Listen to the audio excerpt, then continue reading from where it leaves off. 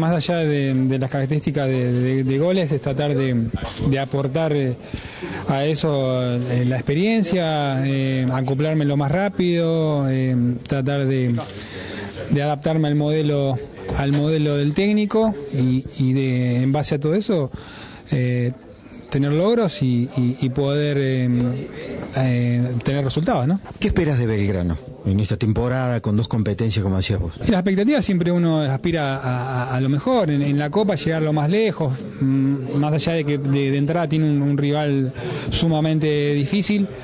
Eh, pero que pero que, se puede pasar tranquilamente. En eso pienso que las expectativas de jugar una Copa Sudamericana es importantísimo y, representar al club a nivel sudamericano también. ¿Qué te motivó a decir, bueno, sí, me voy a Córdoba?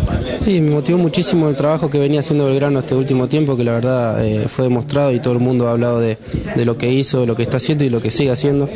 He hablado con compañeros que he tenido en Tigre y la verdad que me han hablado muy bien del club. Es un club moderno del cual estoy muy contento de poder venir acá y tratar de demostrar el fútbol. ¿Qué esperas de Belgrano? 21 años, sos, un jugador joven con mucha con proyección, con mucho por aprender. ¿Y qué esperas del club? No, el club que le vaya lo, mejor que sea posible, porque yéndole bien al club no va a ir bien a todos nosotros. Así que lo que más quiero es que, que o sea, las cosas salgan bien y que a mí como delantero pueda hacer muchos goles.